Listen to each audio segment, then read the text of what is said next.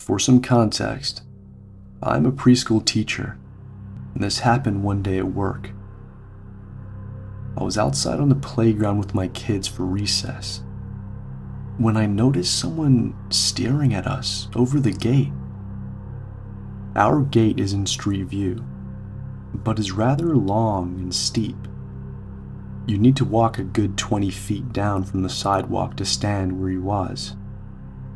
He was really fidgety and acting all strange. His face was covered with what I assumed to be scabs from some kind of drug use. I asked him if I could help him, pretending this was totally normal, as not to risk escalating anything. He asked for a pamphlet, which I didn't have, but I offered to write his information down and reach out, anything to get him to leave. He accepted, and I reached for my phone when he made a fast movement to unlock and enter the playground. I told him he needed to step away, as my kids were out, and I can't let him in without an appointment for a tour.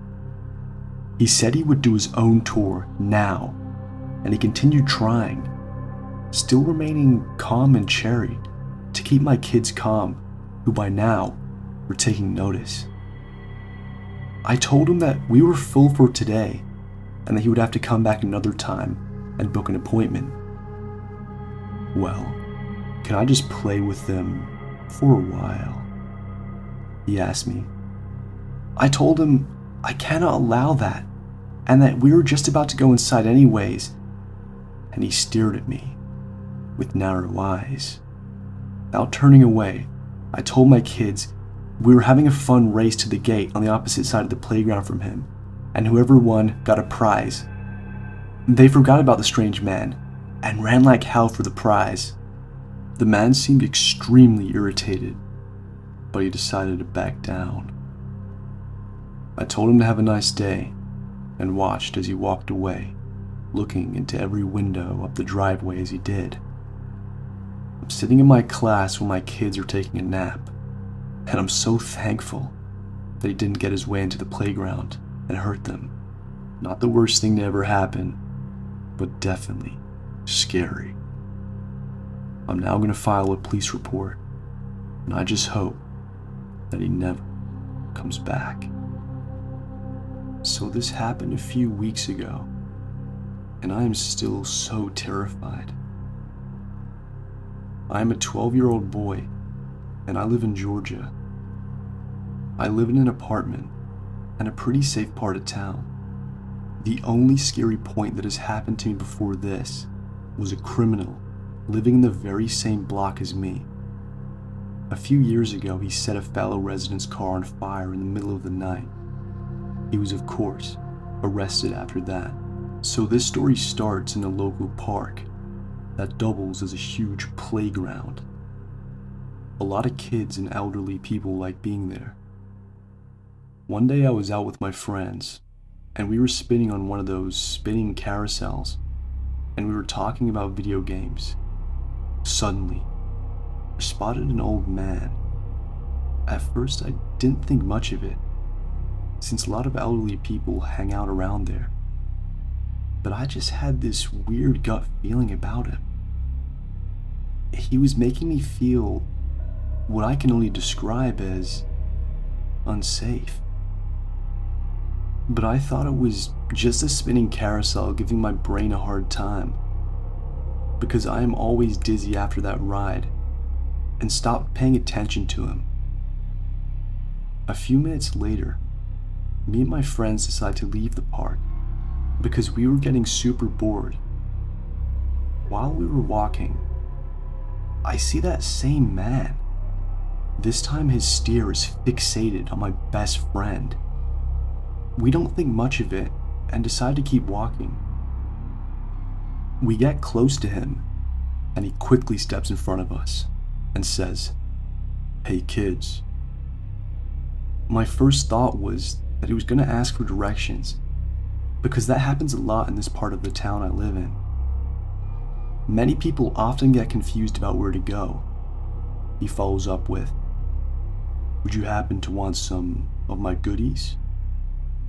Being the idiot that I am, Instead of walking away, I ask, What goodies? He goes silent and starts staring at me. A few moments of silence, and then, some of these here drugs. He opens up his coat wide and reveals pockets and pockets full of tiny Ziploc bags filled with some sort of powdery substance. My friend quickly and silently says, No thanks, and we start speed walking towards my house. I live in an apartment very close to that park, and my friend lives on the same block and the building just one door away from mine on the fifth floor. He then starts following us in a rather quick manner and almost shouts, What about some candy? I got some candy too. At this point, me and my friend start darting towards our block, not even looking either ways while running across the road. Luckily, there were no cars around. Once we got to the block, we felt much safer. There were a few people sitting on the benches, and everyone in the block knew us. So if this old man tried anything, we knew we would be okay. I told my parents the moment I got home. They called the cops immediately, and to this day, the guy has yet to be found. But I just wonder what would have happened if he caught us? I grew up in a safe and beautiful part of town. All of my neighbors were within five years of my age. There wasn't a moment I didn't have a friend to hang out with. We were even lucky enough to have a park within a couple of blocks of our neighborhood. Given the safe nature of our area, we were all allowed to walk and spend time at the park alone. One time I remember being with my best friend. We were around 10 years old at the time and decided to make our way to the park per usual. This time, however, we got a really bad vibe and heard a man screaming in the background, Hello? We were both as tiny as could be, and luckily could fit under this 12 inch part of the playground where no one could see us. Within seconds of successfully making it under and hiding under the area, the man yelling appeared. We could see him, but he didn't see us. He said, I heard you two girls playing. Where are you guys? Come on out. As he started looking through the tubes, slides, and the rest of the playground, we lucked out. He didn't find us. We have never been so silent in our lives. After a few minutes of him gone, we made a run for it. We generally walked along the road to the playground, but we were aware of shortcuts through other people's yards. This time, we took a dash through the neighbors' yards. As soon as we hit the road again, a car pulled up alongside. It was the same man. He asked us to get in his car, and that he would take us with him since we were so young. We declined endlessly. We kept on walking, and he slowly followed us with his window down, and he begged us to get in and let him drive us. We eventually walked up to some random person's house and pretended it was one of ours. We understand now that this was the wisest possible thing to do. But at the time, we were only 10, and all we knew was that we needed to get the crap out of there. After pretending this random house was ours and going to the front door, he left us alone. We made the dash to my real house. We never told our parents. We probably should have. We are now both 22, and to this day, we both still bring it up every now and then and discuss how poorly things could have gone and how we could have met a horrible fate. When I was around six or seven, I had an awesome friend who lived in the apartment complex right across from me. She and I used to go roving around and go on adventures, helping the older folks in the complex get around, and stuff like that. It was in the 90s in a small town, So our hard-working single moms didn't worry too much if we got off the bus before they got off work. They told us to always stick together and be a team. Don't talk to strangers, stay close to our section of the complex, and never go to the playground at the top of the hill by ourselves under any circumstances. Naturally, being around six or seven and eight or nine, we were pretty obedient and followed instructions well. Until one day, when they were way later than usual, we were bored out of our minds and thought it would be a brilliant idea to take the massive hike up the hill and go play on the playground. So up we went, and all was well, at least for a few minutes. My spidey senses started tingling.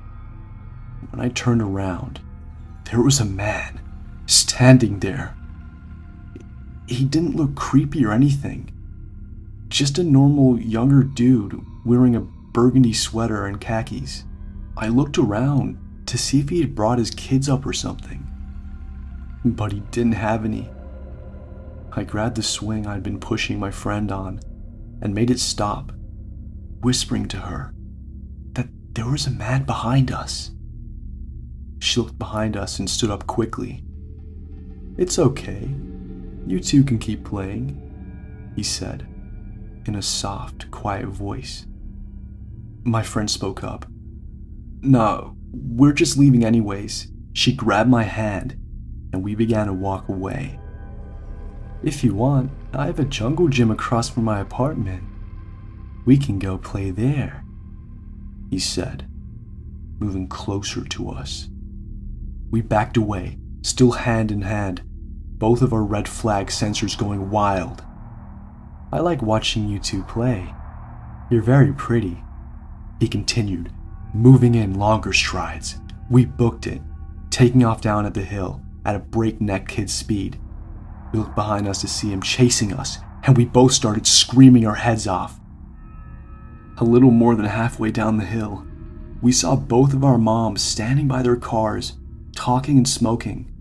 when they heard us, they immediately started sprinting over to us. Apparently, the man realized who they were and he started taking off across the vast parking lot back to his apartment. Our mom scolded us something fierce and explained to us that what happened was the exact reason we were to never go that far from our neighbors, ever again. When I was at elementary school, me and about three other girls were playing at a park at recess. Out of the blue, a man just came up to us from across the field where his car was parked on the street. And he asked us if we wanted to see his puppy or something else that was incredibly stereotypical. My mom had previously warned me about the exact situation so many times, and I knew that this was bad news. At the time, I was maybe six or seven, so unfortunately, I was much more of a follower. The other girls started to follow him without hesitation. So I decided to follow as well, trying to convince the other girls that we should turn around right now. Thankfully, one of the supervisors noticed and intervened. I don't think they did anything about it though, other than take us back to the park and tell him to leave us alone. She should have got his license plate and called the police. This happened so long ago, and it is still so crazy to me how I'm just living a normal life to this day. But in only a matter of seconds, my life, my family, my friends could have been completely changed, and the outcome could have been different.